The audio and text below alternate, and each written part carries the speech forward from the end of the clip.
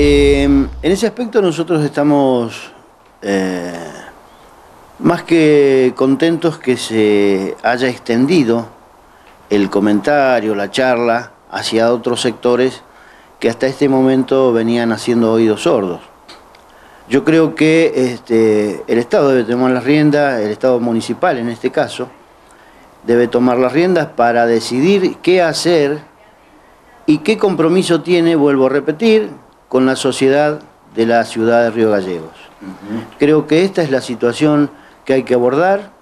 Este, me parece que hacer una audiencia pública es extender esta situación, sobre todo que en, la ciudad de Río Gallegos está institucionalizado, está como permitido este, que existan estos lugares, porque ha, sido una cuestión de culturización desde hace 60 o 70 años a esta parte, donde este, en un principio y se decía que como la población de Río Gallegos era de hombres solos, porque estaba el ejército, estaba la marina, estaban los frigoríficos que tenían trabajos temporarios, hacía que eh, acudieran a Río Gallegos hombres solos y que era necesario tener este, un lugar de divertimento para estos. Creo que la situación hoy no es la misma,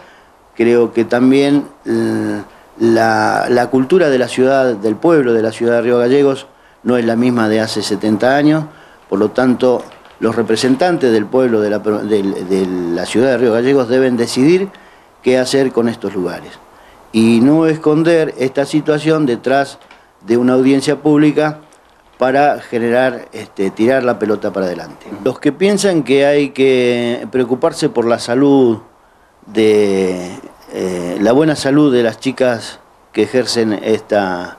esta actividad, en realidad se preocupan por la salud de los prostituyentes, de aquellos que consumen la prostitución paga. Entonces lo que tendríamos que hacer es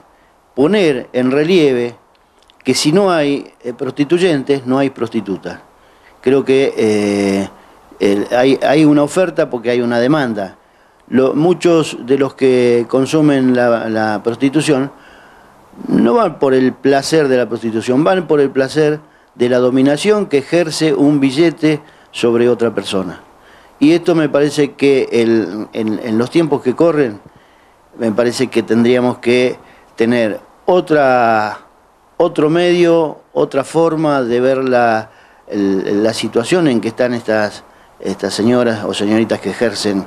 esta actividad, porque en, un principio yo siempre digo fueron víctimas. Y si no son víctimas de la, la trata de personas, han sido víctimas del abandono de los padres, de la falta de educación, de la falta de oportunidades,